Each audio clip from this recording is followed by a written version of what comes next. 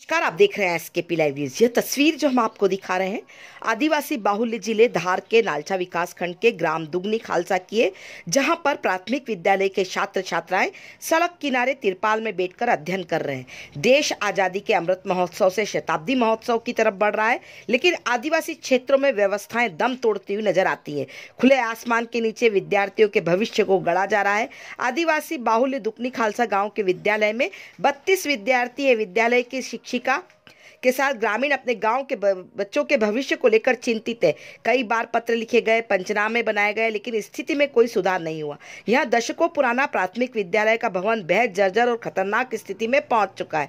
छत से लगातार प्लास्टर गिर रहा है, गड्ढे हो गए हैं, दीवारें कमज़ोर हो गई है। विद्यालय का भवन जर्जर है। शिक्षिका बच्चों को तिरपाल में बिठाकर पढ़ाने पर मजबूर है। शासन की गाइडलाइन के अनुसार मध्यान्ह भोजन रसोई घर में ही बनना चाहिए, लेकिन यहाँ पर रसोई घर की व्यवस्था खराब है। मध्यान्ह भोजन जवाबदार घर से बनाकर लाते हैं उसके बाद विद्यार्थियों को मध्यान्ह भोजन परोसा जाता है। स्कूल की शिक्षिका ने बताया कि पिछले एक माह से यही चल रहा है भवन जर्जर होने से अध्यापन कार्य बाहर करवाया जा रहा है वर्षा शुरू होते ही छुट्टी कर दी जाती है। देखें खबर एसकेपी लाइव न्यूज़ पर।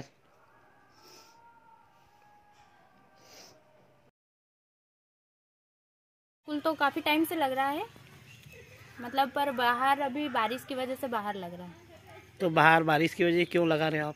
स्कूल के अंदर क्या है कि छत की वो छबान गिर रही है तो इस वजह से मैडम ये लोग सब बाहर स्कूल लगा रहे हैं छेद होने लग गए स्कूल में और उसकी छबान भी ऑटोमेटिक गिर रही है तो इस वजह से बच्चों को बाहर बिठा रहे हैं। काफ़ी टाइम एक महीने से। तो मैडम किचन और ये फिर?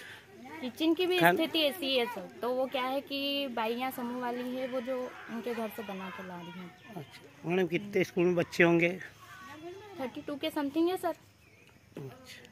आपने इसकी शिकायत की किसी को? हाँ जानकारी तो दी थी मतलब ये सब पंचनामे वगैरह भी बना के अवगत कराया है यहाँ के जो भी वरिष्ठ अधिकारी हैं उन लोगों को। आपका नाम क्या है? मेरा नाम विनीता है और मैं यहाँ की आंगनबाड़ी वर्कर हूँ। तरह से जर्जर हो गए हैं टूट चुकी है। मतलब अंदर से टूटी बोल अंदर से। पूरी टूट चुकी है। गिट्टी गिट्टी नीचे गिरने लग गए हैं। तो बच्चे एक डेढ़ महीने से अं- अंदर स्कूल अंदर से बाहर बैठे हैं। और किचन और ये? किचन भी पूरा खराब हो चुका है। तो आप खाना फिर ये कैसे बनाते हैं यहाँ से? तो घर से बना के लाते हैं। घर से बना के लाते हैं? हाँ। अधिकारियों उनके आपने शिकायत की इस चीज़ की? की है भी दिया शिकायत भी करी। क्या बोला उनने? उन्होंने बोला हो जाएगा आश्वासन देते रहे लेकिन आज तक शिकायत का निराकरण नहीं हुआ। कितने बच्चे स्कूल में यहाँ पर? बत्तीस। बच्चे के लगभग है।